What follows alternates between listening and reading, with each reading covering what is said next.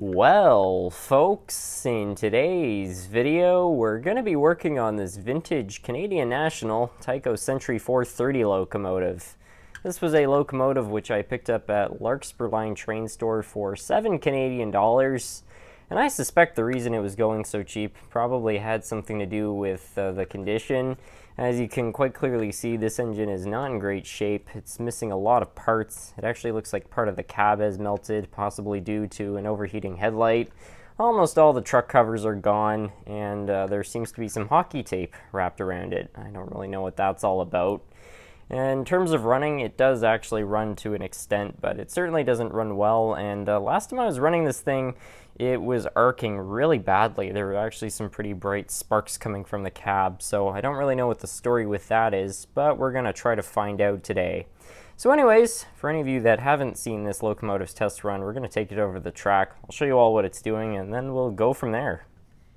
So as mentioned, this thing was doing some pretty unusual stuff last time I was trying to run it, so I'm going to be curious to see if any of that is still going on. Anyway, let's give it some power. And you can see it actually is running, but like, sounds just horrible. I don't see any arcing, but, well, that's actually smoke coming out the windows. Yikes. Alright, so, uh, yeah, clearly there's some stuff uh, not quite right here. So let's bring it over to the workbench and see if we can correct that.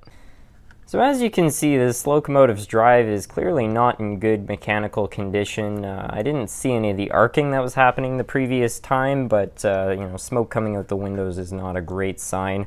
I'm not sure if that relates to the arcing problem or just something going on with the motor, but either way, something clearly needs to get repaired. So we're just going to open this all up, and uh, you can see right there, there's actually a broken wire and uh, the light fixture is completely loose, so that's no good. But what I really want to have a look at is the motor itself. So I guess we'll lift this off. You uh, kind of squeeze these in to remove them, by the way, in case you haven't done this bit yourself. Anyway, I guess we'll just remove these two screws here, and then we'll actually get down to the motor. Everything else has to be taken apart so it can be cleaned and lubricated, but this is usually the bit you want to check out.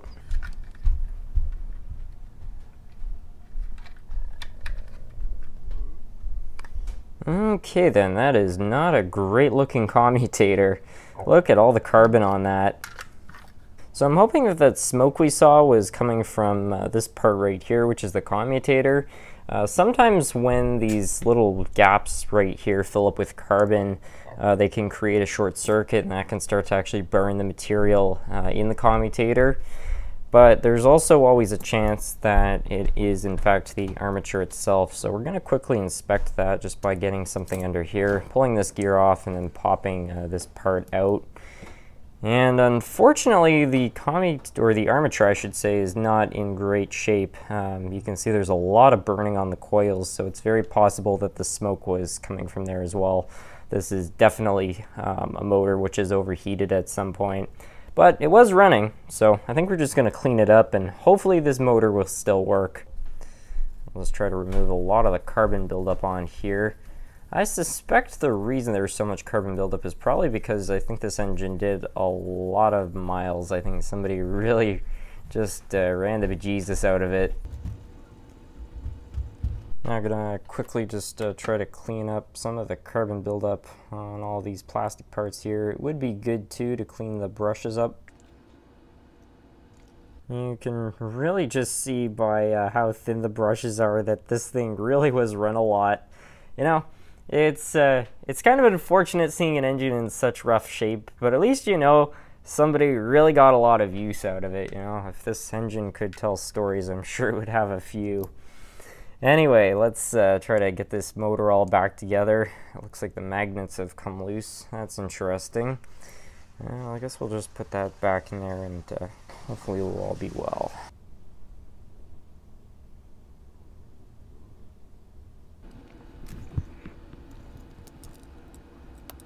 Well, I'm not sure if uh, that actually worked, but we're going to get some power leads here and test it out.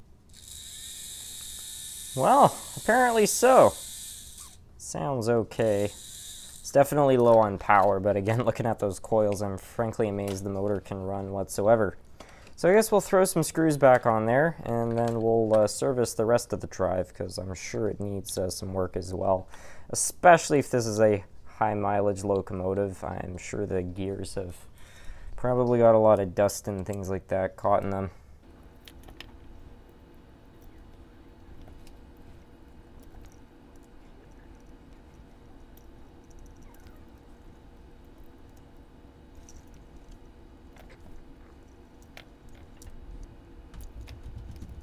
Mm, that's already one sign. yeah, yeah, this all definitely needs some cleaning.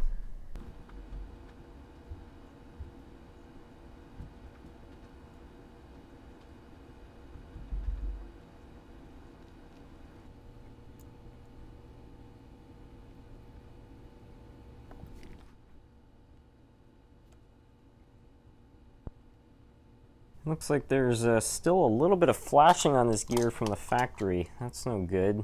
That all cleaned up nicely. That might have been uh, hindering performance.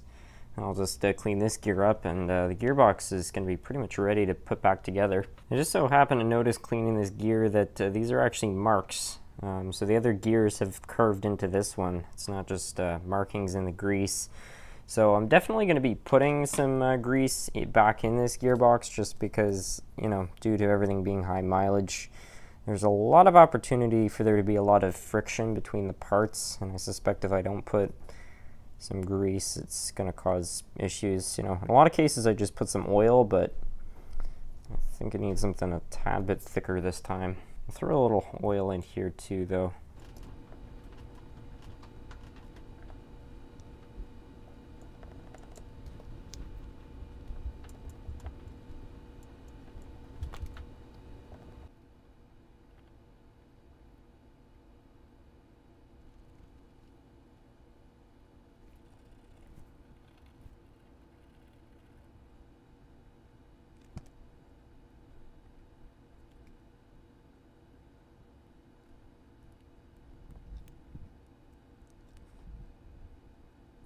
So at this point, we've basically got the entire drive back together. So we're going to be uh, reconnecting these wires, which unfortunately broke off.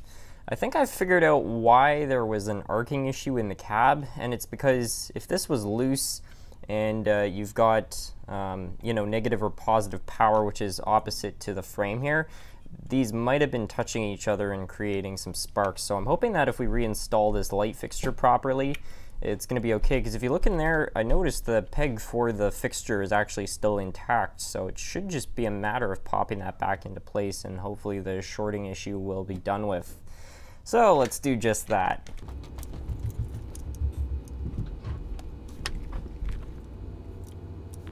If you're wiring up one of these Tyco locomotives yourself, basically this one right here is insulated. The other one is connected to the ground which is the entire frame through this screw. So you connect this wire, which goes to the rear truck, to the isolated side, and then you connect this other one, which goes to the light, to the grounded side.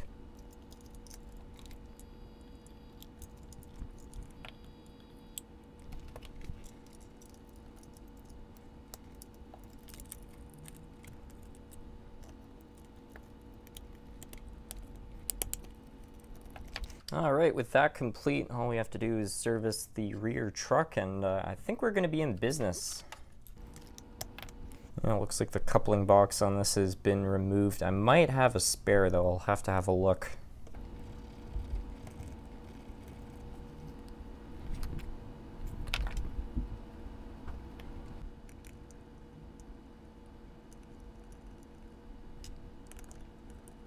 So I was able to find a spare part, but unfortunately it's missing one of the pieces for the truck cover, and it's also off a later model. This is one of the Hong Kong made parts, whereas uh, this locomotive was uh, actually made in the States, so it might fit, but I don't know, it's not perfect. But I came up with some sort of an idea, which is that I don't really need a front coupler. I don't think it's very likely I'm going to end up using that, but a rear coupler is handy.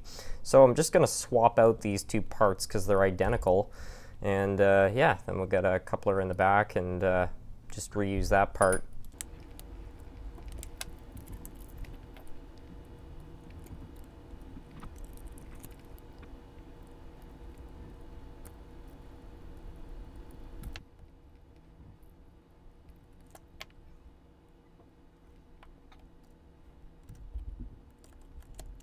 Well, I think at this point this thing is pretty much ready to take over to the track, so let's go test it out. Right folks, moment of truth. Is this thing gonna start and run or is the motor just gonna burn up? I don't know, let's find out. Hey, seems to be a runner. Look at that. Definitely, uh, I think got some wheel slipping going on there, but uh, that is way better than I expected. Certainly uh, not the fastest, but the noise problem seems to have gone away. Huh.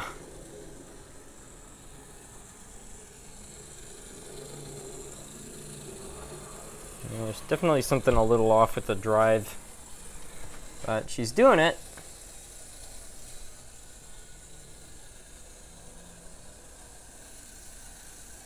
This thing is so clapped out. The fact it runs as well as it does is really nothing short of a miracle.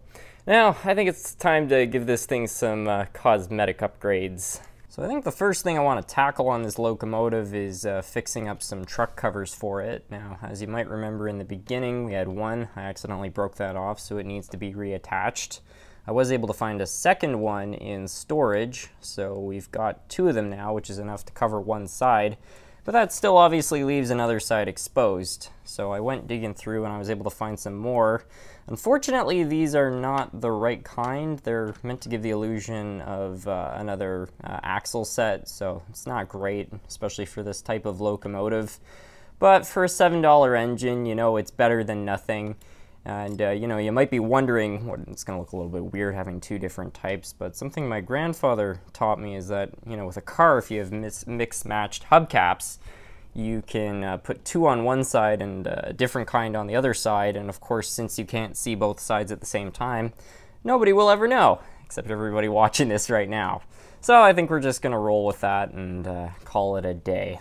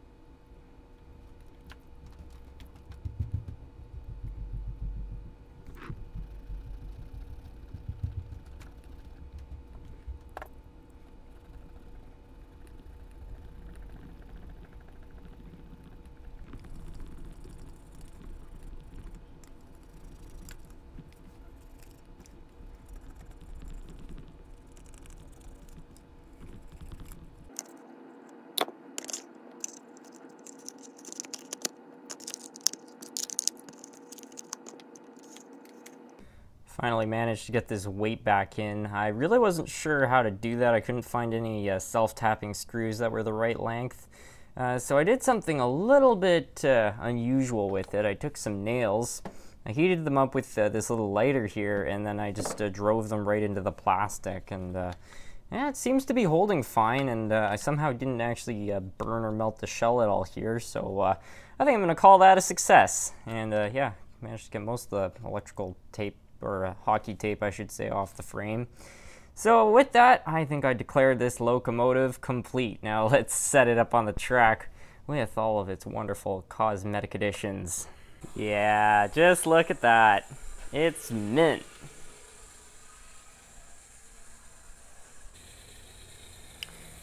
Well, folks, I think that's going to be about it for today's video. I hope you all enjoyed. I am absolutely thrilled with how this thing turned out. You know, it's by no means a, like, fantastic locomotive. It's still pretty rough.